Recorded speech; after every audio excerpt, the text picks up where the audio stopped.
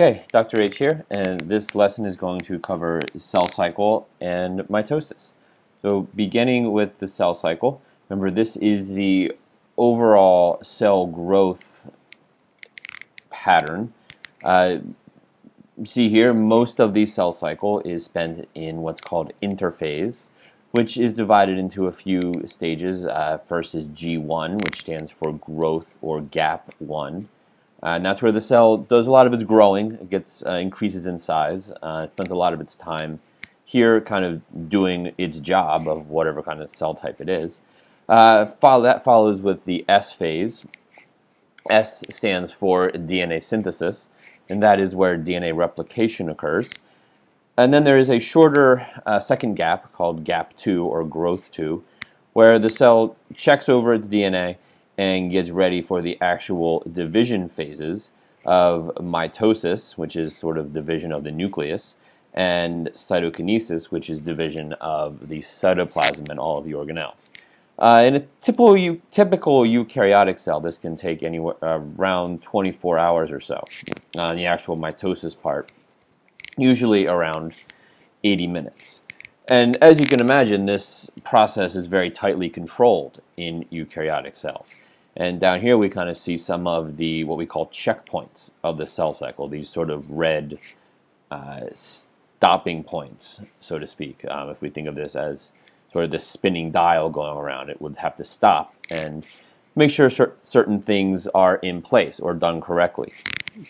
The main checkpoint is this one right here called the, the G1S checkpoint, even though it's a little bit uh, away from the G1S border. Uh, it's also called the R point or restriction point, meaning that if the cell gets through this checkpoint, okay, it's most likely going to complete the cell cycle. Uh, but what the cell looks at here at the G1S checkpoint is, uh, is there any DNA damage? And if there is an extensive amount of DNA damage, uh, the cell can actually eliminate itself. Uh, moderate amount of DNA damage, the cell will probably try to just repair that and move on.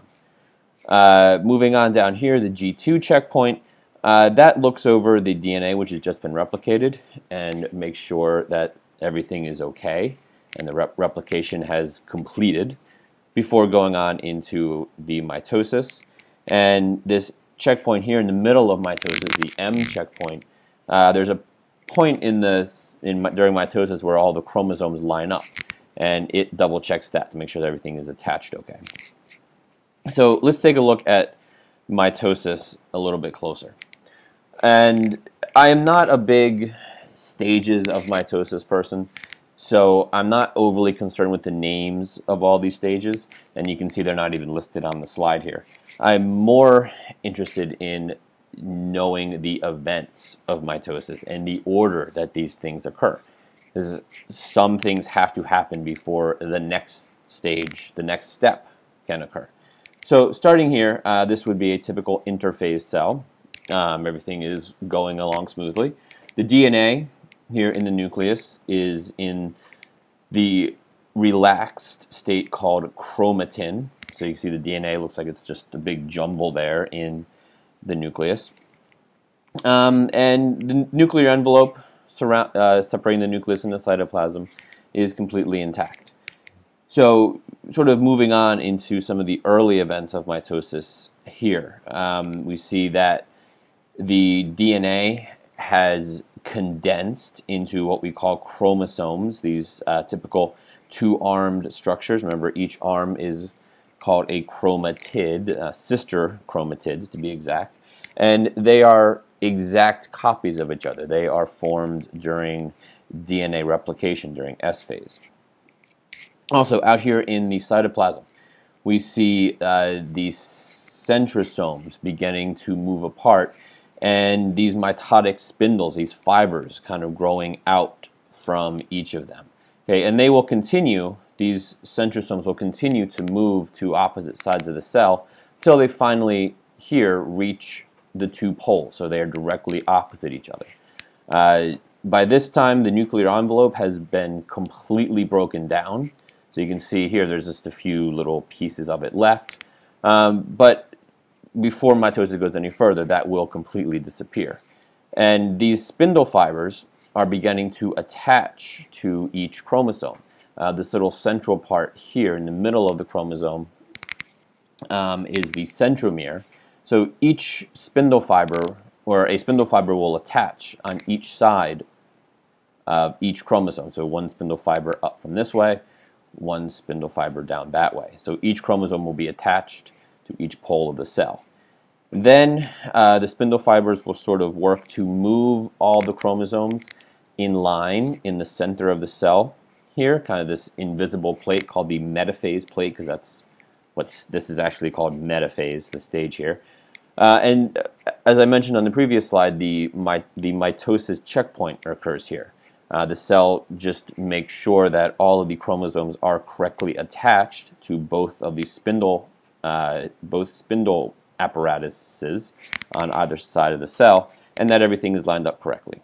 So once it passes that checkpoint, uh, the spindle fibers pretty rapidly begin to shorten, and this pulls these sister chromatids apart. So you think of the chromatids kind of sitting like this, then they get pulled to either side of the cell. So that's why they kind of look like little V's or upside down V's from the top here, because uh, they're being pulled from the center. The, the spindle fibers are shortening up. Okay, and then this signals kind of the end of mitosis, and then the very last stages here, all the things that happened at the beginning sort of happened in reverse. So the DNA begins to decondense back into chromatin. Uh, the nuclear envelope comes back. Uh, I didn't really mention anything about the nu nucleolus, but that does this little dark structure in the middle of the uh, in the nucleus does disappear during mitosis. Um, so that comes back, and the cell reverts back to an interphase state. Uh, as you know, as you remember from the cell cycle, it's a big circle. So after mitosis, it goes back to the beginning of interphase. The other thing that's happening here, and you can kind of see, is this uh, cleavage furrow is forming, and that is part of cytokinesis.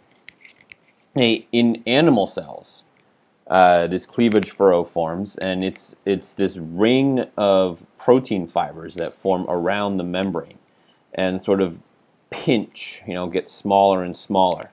Uh, you can see it this in the micrograph here, and then on the diagram you see it kind of pinching the cell together.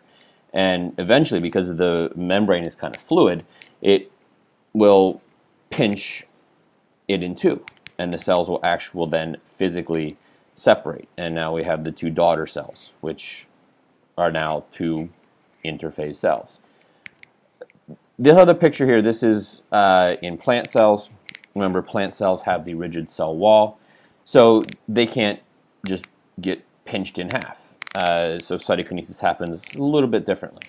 There's this uh, these vesicles kind of bud off from the Golgi apparatus, and kind of align themselves in the middle of the two halves of the cell.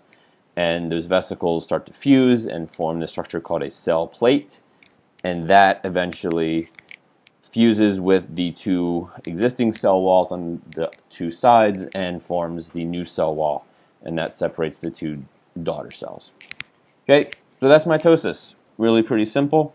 Um, remember, not too big on the stages. Just make sure you know the events and the order that they occur.